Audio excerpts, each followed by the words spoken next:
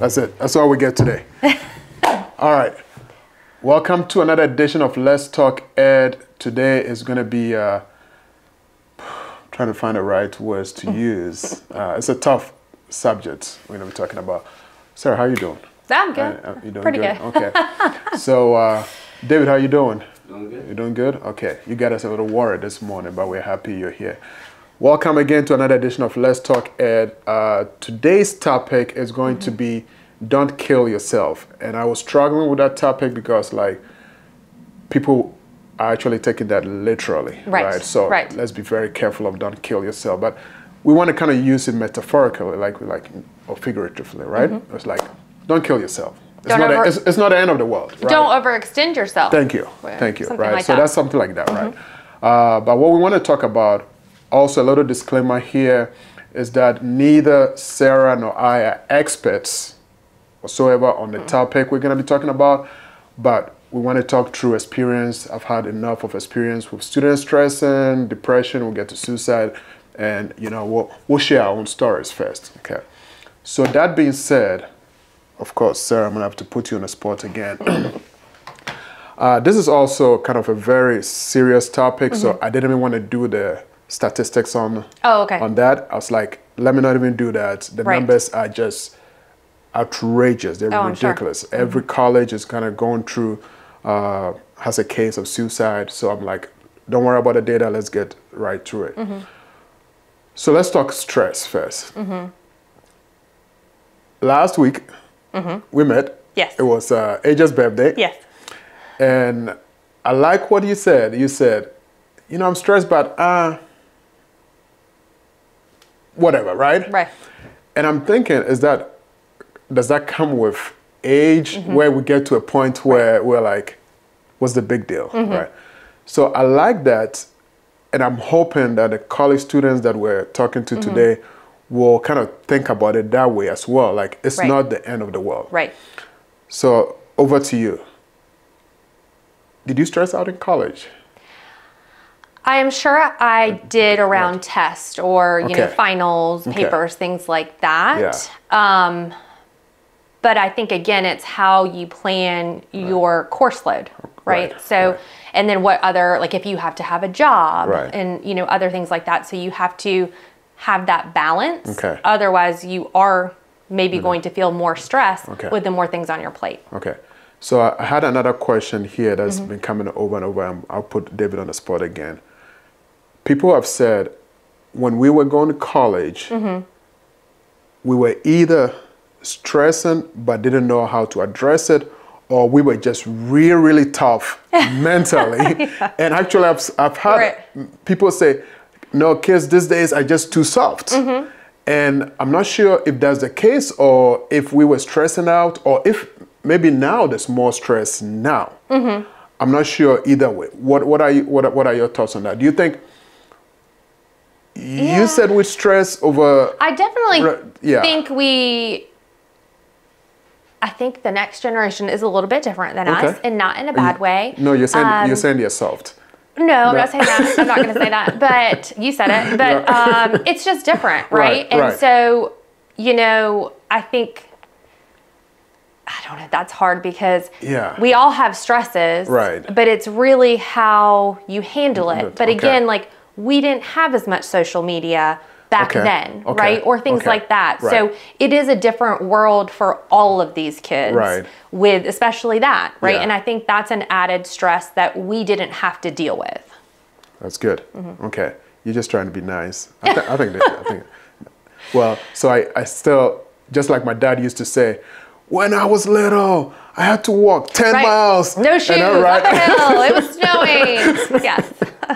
right, and then I feel like we're kind of right there. We didn't walk ten miles. Right. We didn't walk barefoot in the snow, you know, on rocks. Mm-hmm. But I still feel like we were a little bit tough Mm-hmm. because we dealt with stuff. But also, you know, I think the reason is there was no resources Right. for us to handle that. So back to college, whatever stress you had, was there people in place, system in place to help with stresses? If you were stressed in mm-hmm. school, going back to college, mm-hmm. uh, was there someone in place that you could go mm-hmm. to? Yeah. I don't remember that. If they had it, I'd Yes. never went. Okay. Because I, I didn't Right. hear about it. Correct. So I think that could be it. Yeah. But also, I think there was just a counselor, but it wasn't really a counselor. It was someone that, you know, it was like your add drop thing, right? When you went in there and you're like, oh, add drop, here you go. But I don't remember anyone on campus Right. that if I was experiencing stress that I could go talk to them. Okay, that's good. I was gonna say, I as we were getting ready for today, I mm-hmm. did the same thing. I was like, were there counselors? I remember we had like house pops in the mm-hmm. dorms or mm-hmm. house moms in the dorms. Right. If you had something, you go and talk to them. But I also have to be honest. I don't think we even talked about stress. No. Like what what what is stress? Right. I mean, it was you having a bad day. Right. Nobody taught anything Right. more more about that. So that being said, I don't, if we didn't really, we stressed out. So let me not say we didn't stress out. We stressed out. We didn't really talk about it much. It wasn't Mm-hmm. Right. that big. So if we didn't do that, then what's depression, right? Right. Mm-hmm. It's like you got to stress and then get to depression, and then unfortunately the last option is Right. suicide. We never really got to depression. So what is happening now Mm-hmm. with mental health being a big, big topic? Because obviously we go stress, depression, and we have to Right. Mm-hmm. talk about mental health. Okay. What do you think is happening? You mentioned social media, I do think right? I do think it's a lot social media. Yeah. I think I mean kids were mean back then, right? I mean they were. Um, I think it is your support system Okay. too, right? Because I think back to your point, I didn't talk to anyone about like an RA and Yeah. say, "Oh, I'm stressed" or "I'm feeling upset." You know, I relied on my parents Right. or you know my close friends. And now I think it's not that maybe some people don't have that support system. Right. And I think that makes it more difficult for them. And then throw in everything else because even if you look at our children, they're more stressed than I mm-hmm. was when I was in third grade, right?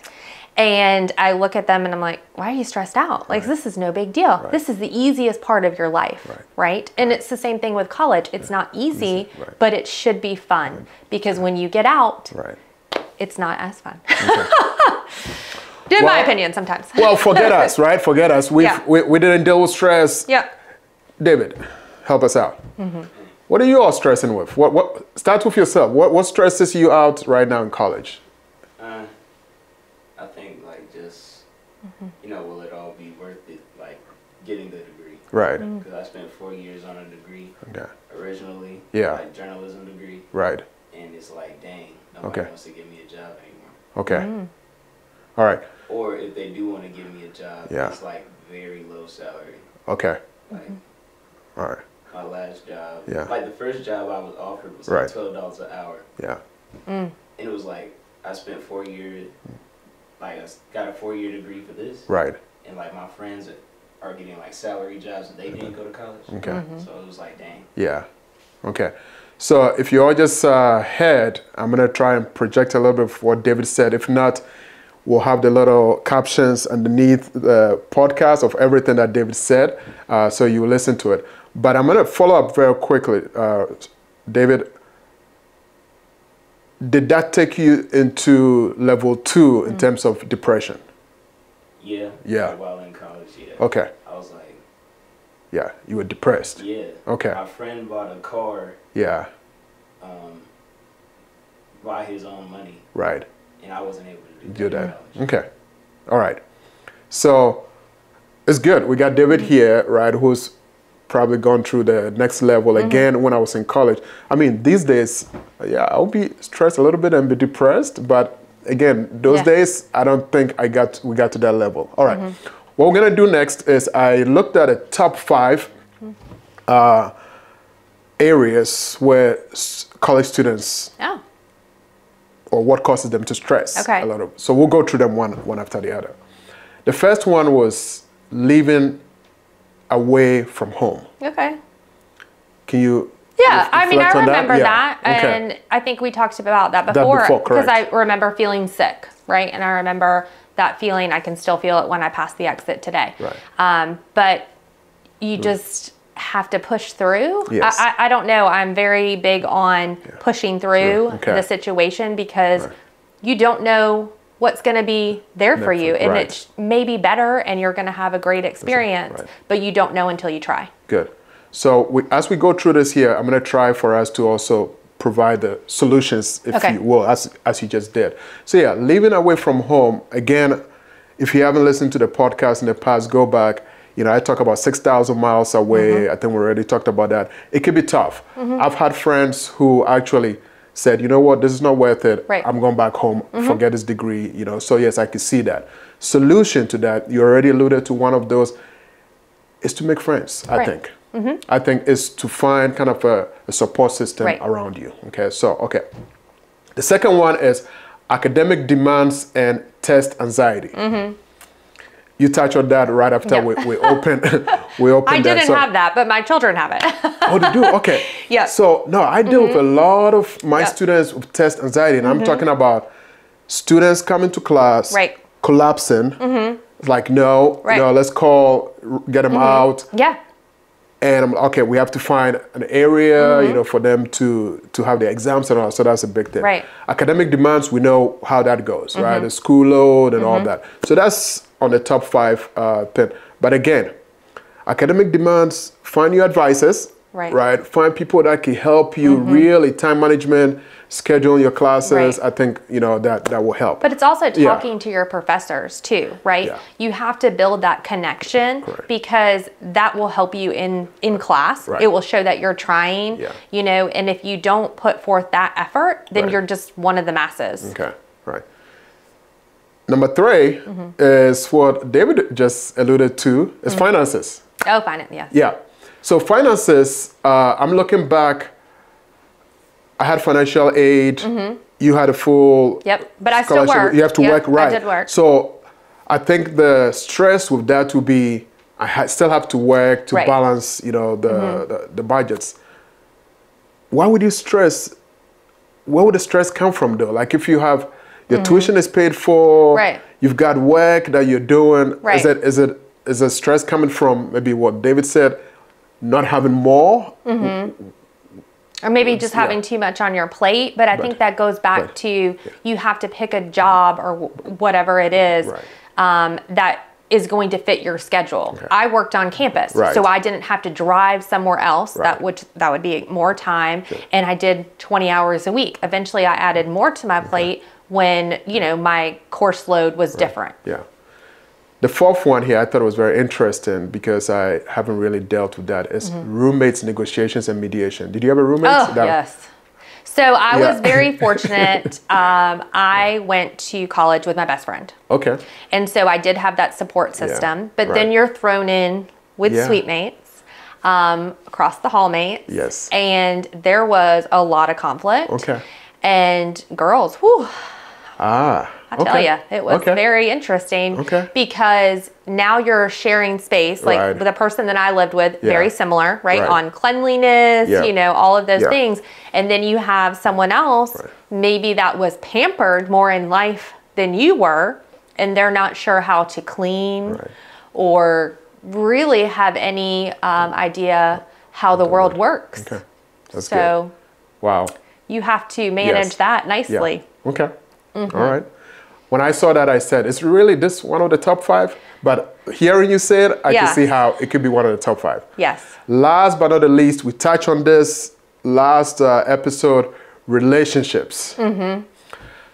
So, I've had students, relationship gone bad, mainly the guys, uh, who, yes, interesting enough, is the guys who don't want to talk about it, Oh. but it's like my world is ending. Professor Chris, I, I can't take it anymore. I mm. can't stand seeing this person in the, every class that I go to, Okay. and they are there. Mm-hmm. I'm out of here. Yeah. I've had actually two of my students, uh, re- relationship gone bad, mm-hmm. leave to go into the military.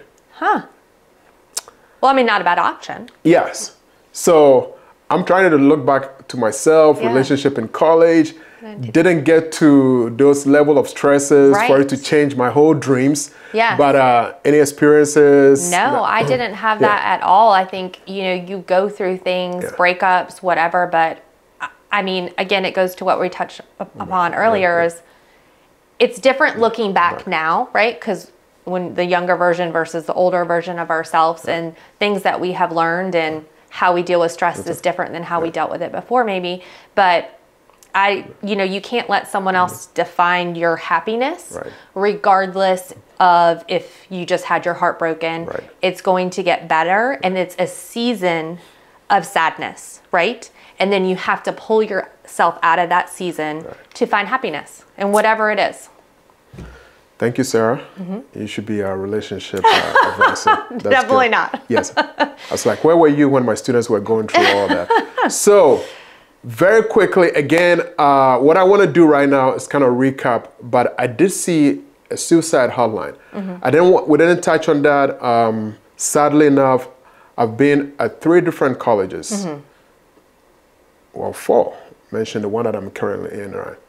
every single one of those institutions, and I make this point here because when we're talking about stress, depression, suicide, there's no limit to, Right. oh, it can happen here, it can happen here. right here. right happen anywhere Right. Everywhere. And again, all those four institutions that I've been to, and I don't want to get into the details of how it happened, but there's been a case of suicide. Mm. Even at one of my liberal arts Christian school, Oh, wow. which you would think, Mm-hmm. okay, you know, they've got everything under control. So again, that's to say Mm-hmm. that there's something that all our college students are going through. Currently, there are counselors that help. So students will ask, do counselors help with stress? Mm-hmm. Yes, they do. You get to the next level, depression. Yes, they do. They actually, if you haven't watched, uh, I'm, I'm gonna look here real quick.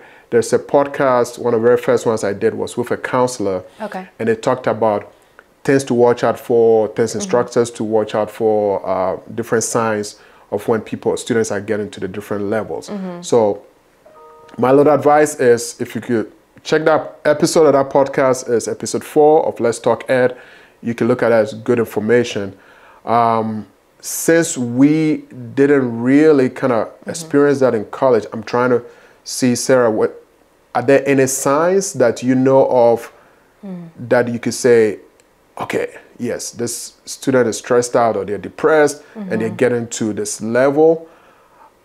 it was very hard for me. I mean, Right. even when I talked to the counselor and she said, mm-hmm. well, as instructors, you should be able to notice different mm. signs. If a student comes to class and they're always happy, right and then the next day they show up in the class and they're, they're not themselves, mm-hmm. there could be different things, but you know, take the time to talk to them. Mm-hmm. That's also very challenging. If you have a class that's got 200 Right. students, you know, do you know all the students? How are you able to mm-hmm. uh, to to do that? So very quickly before I talk about a suicide hotline here, any suggestions Mm. or advice you will have for students that are stressing out? Yeah. I like I like the the one we started with. Really, don't kill yourself. I mean, it's not the end of the world. But I, Yeah. Sarah, I'll let you. Yeah, I think it's hard because mm. everybody deals with stress differently or anxiety or depression. Right. And I think it's being able to have the resources to talk to someone Right. you know yourself or having that support system that can say, hey, y- maybe you should go talk to to someone, right? Right. Um, I think that's probably going to be the most ben- beneficial thing because it's such a horrible thing if Right. someone gets to that point where they feel like they no longer want to be be here, here. right? Right, right. And so I just hope that everyone can find someone that they can talk to because to your point as a professor, right, you may have 200 people in your class, you're not going to make contact with all those 200 people and notice the change every single day. Right. So I hope that everyone has someone Right. that would help them go talk to someone. no, that's great. So I actually um, I did also interview two students a while back on the same topics. Fortunately for those students, they were not stressing. Right. They were not depressed. They didn't even get to the point of you know contemplating suicide, Right. which is good. And I said, you know, how did they get through mm-hmm. college? You know, someone like I talked to my parents, Right. And I was like, what a great outlet, Yeah. right? Yeah. Some say I pray, and I said Yeah. that's great. You know, mm-hmm. whatever you could do to kind of help you mm-hmm. get through that, I think that's great. Again, you know, a quick note: every institution now is required to have Okay. a counselor, right? So for all the different situations, they're able to catch or notice the indications of that. They are the mm-hmm. experts. We again, we're just talking from experience here. But please, please, please, again, I don't think it's the end of the world. If you're getting to that point, talk to somebody. There's all the resources. And before we close, I saw this. It says 988 Okay. is the suicide hotline. Oh, on your phone. Yeah, on your mm-hmm. phone.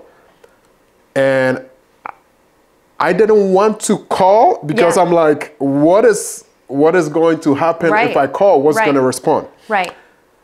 But I was so tempted, so I tried it out, Mm-hmm. and I'm, I'm actually going to do it. I hope the the mic will pick it up to just kind of listen to just what it says. Right. Okay. Right. Let me see. I'll put this on speaker.